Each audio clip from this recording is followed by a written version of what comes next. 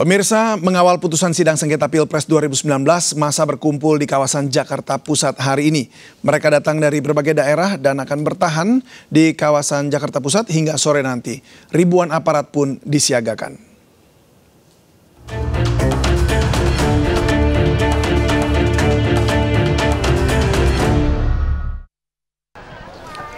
Warga dari berbagai daerah dan elemen sejak pagi tadi berbondong-bondong memadati kawasan Jalan Medan Merdeka Barat, tepatnya di sekitar Patung Arjuna atau Patung Kuda Monas.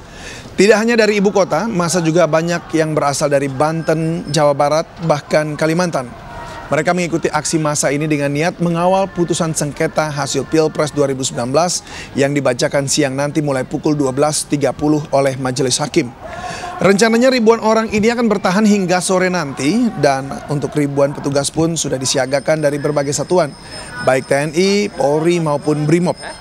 Anda pengemudi kendaraan pribadi pun diimbau memperhatikan skenario pengalihan arus di kawasan Jakarta Pusat. Oh ya.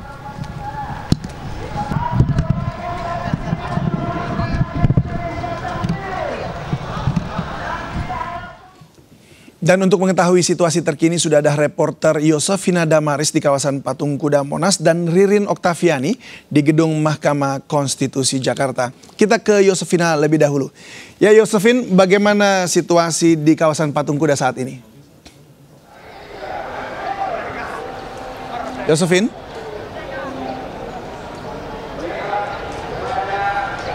Ya David, semakin siang ini masa peserta aksi kawal MK semakin ramai memadati kawasan Patung Kuda dan saat ini sudah memenuhi Jalan Medan Merdeka Barat. Pengetahuan kami masa sendiri tadi tiba sejak pukul 8 waktu Indonesia Barat, kemudian uh, saat mobil komando tiba pada pukul 10 waktu Indonesia Barat, masa pun bergeser yang semula titik awalnya ada di depan Patung Kuda, kemudian semakin siang ini bergeser bahkan saat ini sudah hampir mendekati di depan gedung Kementerian Pertahanan.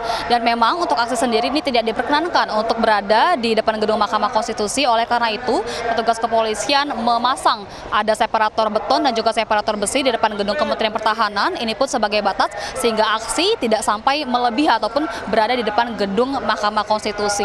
Dan pengamanan sendiri kalau khusus di sekitar gedung MK ini disiagakan ada setidaknya 13.000 personil di sekitar kawasan MK uh, untuk mengawal aksi dan juga mengamankan jalannya persidangan. Sementara untuk totalnya sendiri ini dikerahkan ada 40 ribu aparat gabungan TNI Polri yang tidak hanya di MK, namun juga di beberapa objek vital seperti ada di gedung KPU, Bawaslu dan uh, tempat-tempat uh, lainnya begitu.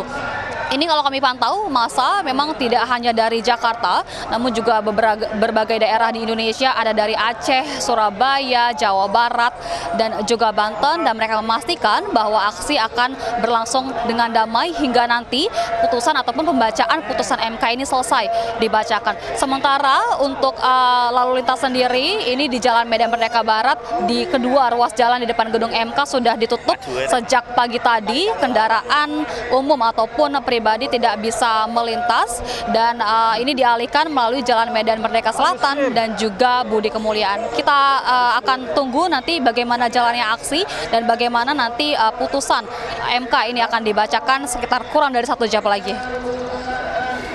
David. Ya baik Yosefina kami tunggu update-nya. Kini kita bergeser ke gedung Mahkamah Konstitusi sudah ada Ririn Oktaviani di sana. Ririn, seperti apa persiapan Mahkamah Konstitusi jelang sidang putusan sengketa Pilpres 2019? Ririn. Ya David, jelang sidang dengan agenda putusan sekitar Pilpres 2019 saat ini Mahkamah Konstitusi telah bersiap di mana saat ini di ruang persidangan masih dilakukan steril dan nantinya para pihak dapat memasuki ruang persidangan dimulai pada pukul 12 siang ini.